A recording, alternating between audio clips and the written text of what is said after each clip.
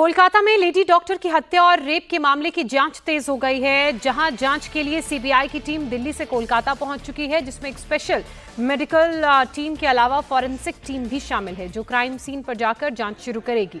इसी बीच medical college के उस सेमिनार हॉल की तस्वीरें भी सामने आई हैं, जहाँ लेडी डॉक्टर का शव बरामद हुआ था। इसी सेमिनार हॉल में लेडी डॉक्टर के साथ दरिंदगी की गई थी।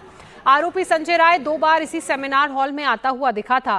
वहीं आज सुबह करीब 10 बजे तक सीबीआई को केस डायरी और दूसरे रिकॉर्ड राज्य सरकार ट्रांसफ़र करेगी। राज्य पुलिस को ये कलकत्ता हाईकोर्ट ने आदेश जारी किया है। ये मेडिकल कॉलेज के सेमिनार हॉल की तस्वीरें आप देख रहे हैं। ये वही जगह है जहाँ लेडी डॉक्टर के साथ दरिंदगी की गई थी। उनका शव यहीं से बरामद हुआ था और जो खबरें सामने आ रही हैं उसके मुताबिक इसी सेमिनार हॉल के नज़दीक ही आ, कुछ एरिया में कंस्ट्रक्शन भी किया है और ये कंस्ट्रक्शन के लिए जो तोड़फोड़ की गई है वो पुलिस की मौजूदगी में है।